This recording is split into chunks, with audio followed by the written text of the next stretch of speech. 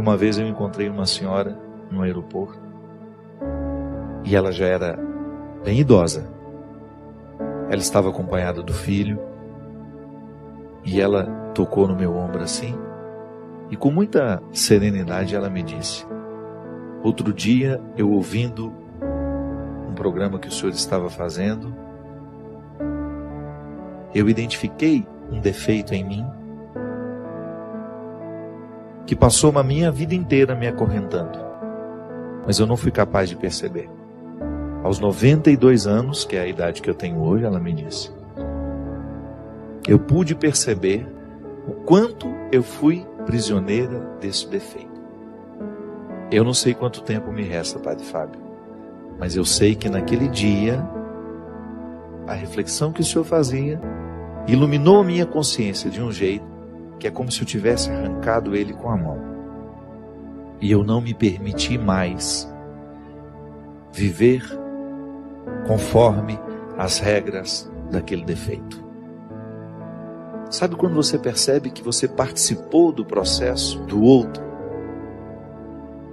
Quantas vezes eu me percebo vivendo sobre as regras dos meus defeitos? Porque quando eu passo a viver sobre as regras das minhas qualidades, eu fico mais leve para o outro, eu fico mais feliz, eu fico naturalmente mais interessante.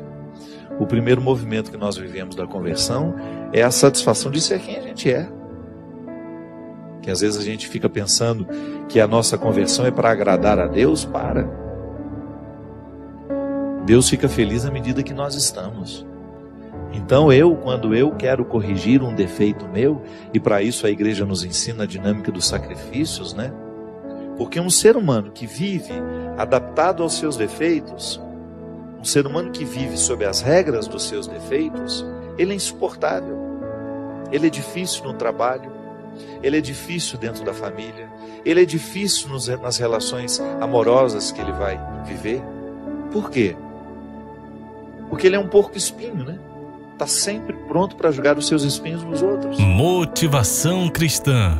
A Deus toda glória e mesmo. louvor. Pode observar, pessoas muito difíceis são difíceis antes para elas. Antes de serem insuportáveis aos outros, elas são insuportáveis a elas mesmas. Por isso que elas, elas têm tanta dificuldade de lidar, de estar com os outros,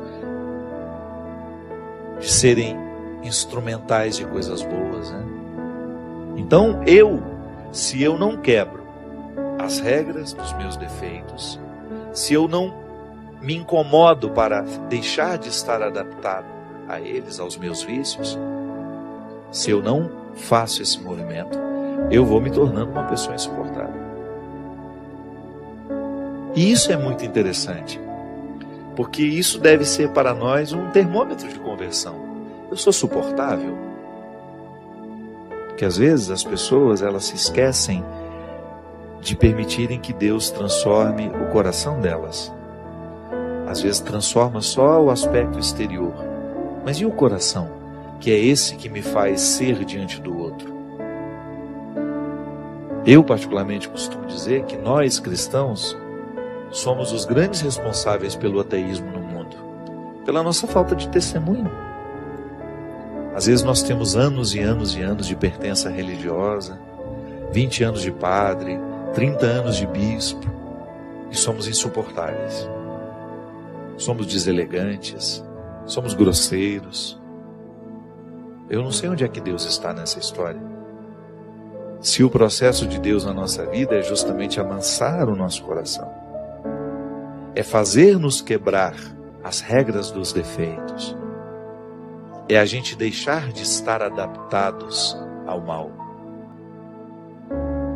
Se eu me torno uma pessoa insuportável aos outros, eu preciso sim rever o quanto de Deus já aconteceu em mim. Que conversão é essa que não me torna uma pessoa mais leve para os outros? É o primeiro sinal, minha gente, de quem se diz religioso porque é o fruto da espiritualidade em nós. Eu não me sentir melhor que ninguém, eu olhar nos olhos dos outros sem ter a pretensão de que sou melhor que eles. Se eu sou um bom chefe, não tem problema ser duro. O bom chefe costuma ser duro, exigente, mas nunca arrogante. Exigente, mas nunca intolerante. Exigente, mas não insuportável. Você sabe que uma vez, é, diante de uma dificuldade que eu estava tendo, um momento que eu estava vivendo difícil na vida, eu estava percebendo que a minha equipe tinha medo de mim. E nada pode ser pior do que isso. Uma coisa é a sua equipe ter respeito por você. Outra coisa é ela ter medo de você. Quando eu coloco medo nos outros, eu preciso rever com muita honestidade a minha conversão. Não posso compreender isso, sabe? Quando eu, no exercício de ser quem eu sou, eu distrato as pessoas, finjo que elas não existem, que você se acha o melhorzão, o bonzão da história. Quantas vezes nós, nós vemos isso? Ao passar pelo prédio, o porteiro que está ali, meu Deus, esse homem participa da minha vida. Ele pode até não entrar na minha casa todos os dias, mas eu passo por ele todos os dias. Eu quero saber quem ele é. Eu quero saber o nome dele. Eu quero participar. Eu quero estabelecer com ele a partir daquele momento pequeno que nós temos. Às vezes as pessoas não olham nos olhos umas das outras. E a gente diz que está convertido. Ou que está em processo de conversão. Tá bom. Mas que processo é esse que não acelera a nossa simplicidade, a nossa leveza? Deus às vezes deixa perde a oportunidade de acessar o nosso coração por causa das nossas resistências ou por, por causa do cultivo dos nossos vícios. Às vezes, não consegue recrutar o que tem de melhor em si mesmo, vai ficando abatido, é isso.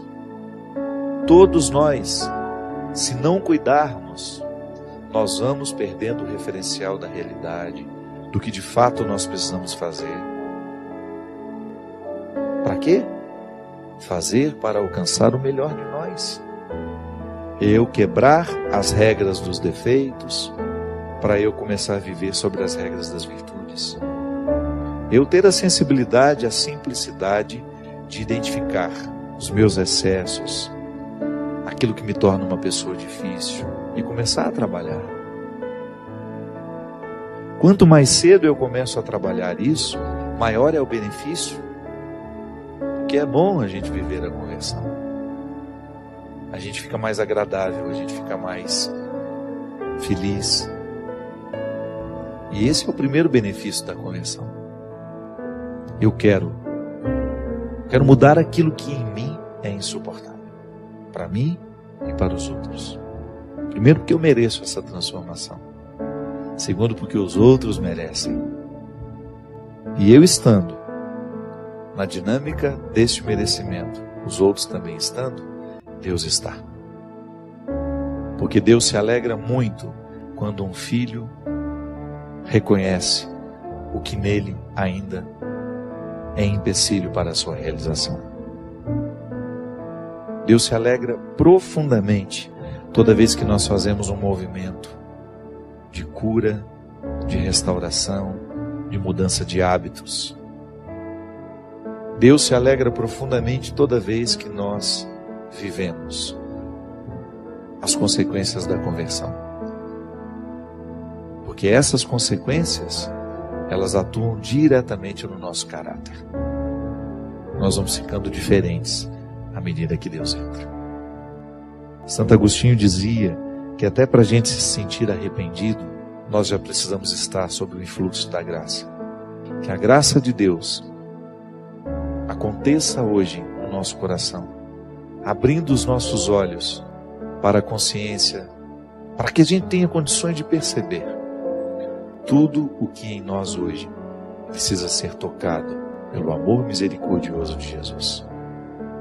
E que a partir deste amor, desta misericórdia, nós possamos voltar ao nosso lugar. Assumir o lugar.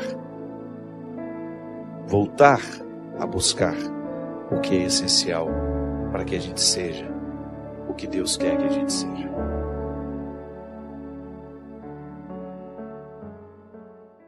Motivação cristã. A Deus toda glória e louvor.